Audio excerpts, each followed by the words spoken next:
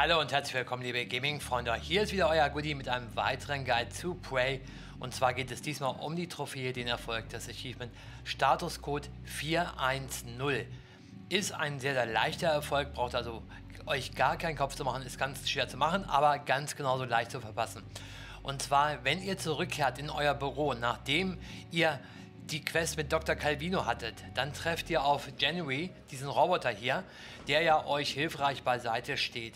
Und ihr trefft auch im späteren Verlauf immer wieder auf ihn. Also es muss nicht sofort am Anfang sein, ne? also direkt so nach der ersten Quest, wenn ihr das erstmal mit ihm redet oder so, sondern sobald ihr halt im Spielverlauf zurückgeht in euer Arbeitszimmer, dann wartet dort euer hilfreicher Roboter und für den Erfolg für die Trophäe müssen wir den einfach ausschalten. Da braucht euch auch keine Sorgen zu machen, der wehrt sich nicht oder so. Ihr könnt ihr ganz einfach ja, wegmachen. So viel Munition, muss ich sagen, habe ich jetzt hier gerade nicht dabei, weil der steckt ganz gut ein. Ich fange jetzt erstmal hier an, ihn mit der Shotgun zu bearbeiten. Und ihr werdet gleich sehen, das reicht dann noch nicht, zumal ja auch da immer nach hinten wegfliegt. Aber wie gesagt, das ist gar kein Problem, der wehrt sich nicht. Ihr könnt also hier ganz in Ruhe nachladen, drauf ballern.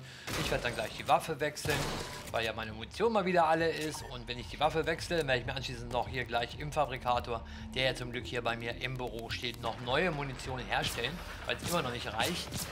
Ja gut, ist ein bisschen blöd gerade. Ich sehe gerade, ich habe hier so den Namen vom Achievement über seinem Lebensbalken stehen, aber ich glaube, dass das nicht wirklich wichtig ist. So, zwei Schuss hätten gefehlt, da ist die Mut alle so. Jetzt habe ich neue hergestellt. Und das war's. Ziel abgeschlossen und jetzt sollte dann auch jeden Augenblick die Trophäe aufpoppen. Das bedeutet, das dauert, glaube ich, einen kleinen Augenblick, einen relativ langen kleinen Augenblick sogar, ehe die Trophäe kommt. In der Zeit bekommen wir hier Besuch. Ich weiß nicht ganz genau, ob das was damit zu tun hat, dass wir unseren Roboter abgeschossen haben. Ich denke eher, dass das der Geschichte ist, die hier sowieso gekommen wäre, wenn dann halt, ähm, keine Ahnung, wenn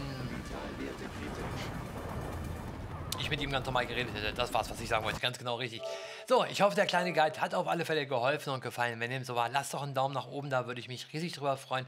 Abonniert den Kanal, wenn euch geschehen, dann verpasst ihr hier weiter nichts Neues. Und ich hoffe, ich höre und sehe euch wieder im nächsten Guide. Ich sage bis dahin, so long, goodbye, keep gaming, euer Goodie.